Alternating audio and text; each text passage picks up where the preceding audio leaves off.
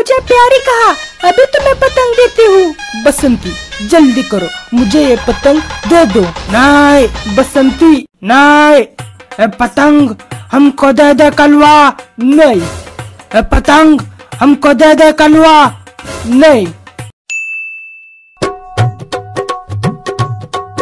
अरे कालिया, कहा गया सांभा? सरदार सरदार सरदार। अरे ओ सरदार। अरे वो का सरदार सुअर के बच्चे बीच में क्यों बोल रहा है? सरदार आपको पता है गाँव में बसंती ने पतंग की दुकान खोली है? क्या बसंती ने पतंग की दुकान खोली है? हाँ सरदार हाँ और तो और बसंती को इम्प्रेस करने के लिए कलवा उसके दुकान से सबसे बड़ी और सबसे महँगी वाली पतंग खरीदने वाला है। अरे ओ सांभा तू ये कैसी बातें कर रहा है? तू पागल तो नहीं हो गया ना? कलवा तो पहले से ही किसी और को पसंद करता है ना? तो बसंती को क्यों इम्प्रेस करना चाहता है? अरे सरदार, इसके अंदर लाज शर्म नाम की कोई चीज़ नहीं है। अरे ओ सांभा, मेरे होते हुए कलवा ऐसे कैसे बसंती को इम्प्रेस करेगा?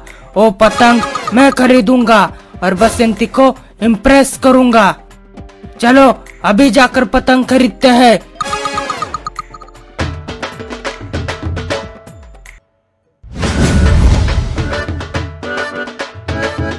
जल्दी चलो सांभा।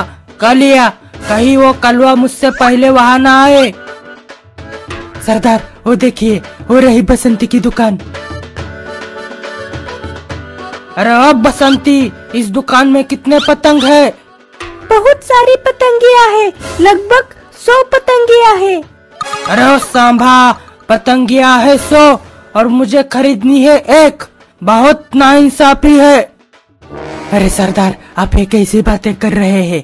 यहाँ आप बसंती को इम्प्रेस करने आए हैं? या आपने डायलॉग झाड़ने? सुअर के बच्चे मुझे मत सिखा। लो, गई भैंस पानी में। वो देखिए, कलवा आ रहा है। अरे, एक गब्बर यहाँ क्या कर रहा है? ज़रूर उस सांबा ने फिर से मेरी जासूसी की होगी, पर मैं भी कलवा हूँ, देखता हूँ इस गब्बर को। बसंती मुझे तुम्हारे दुकान की सबसे बड़ी और सबसे महँगी पतंग चाहिए। पर मेरे दुकान में तो सिर्फ़ एक ही सबसे बड़ी और सबसे महँगी पतंग है। मैं तुम दोनों में से किसको ये पतंग बेचूं? मुझे।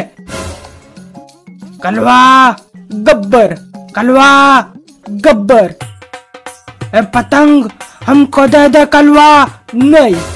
ए पतंग हमको दे दे कलवा नहीं। ए पतंग हमको दे दे कलवा। पागल गधे कही के, दो बार चिल्ला के नहीं बोल चुका हूँ। फिर भी बार बार वही सवाल क्यों पूछ रहा है? गधे के बच्चे, स्वर के बच्चे। सरदार, चाहे कुछ भी हो जाए, आज तो यहाँ से ये पतंग खरीद के ही जाएँगे। मैं भी यहाँ से पतंग खरीद के ही जाऊँगा। अब तो ये मेरी इज़्ज़त का सवाल है। अरे सुअर के बच्चे! इज़्ज़त तो तेरी है ही नहीं इस गाँव में। तो फिर उसकी क्यों चिंता कर रहा है? हा, हा, हा, हा, हा। बसंती जल्दी से मुझे ये पतंग दे दो। नहीं बसंती जल्दी करो मुझे ये पतंग दे दो। नहीं बसंती नहीं बसंती नहीं चुप करो तुम दोनों। मेरे पास एक आइडिया है।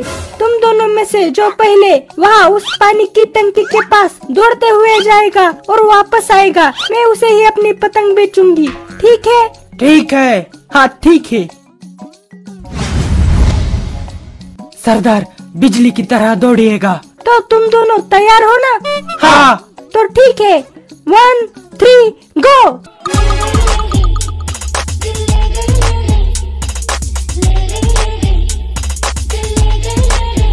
अरे वो देखो अंधे गुंगे बहरे आ रहे हैं।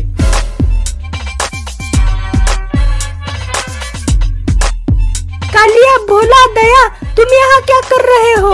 अरे प्यारी बसंती मुझे सबसे बड़ी और सबसे महँगी पतंग दे दो। अरे वाह तुमने मुझे प्यारी कहा अभी तुम्हें पतंग देती हूँ।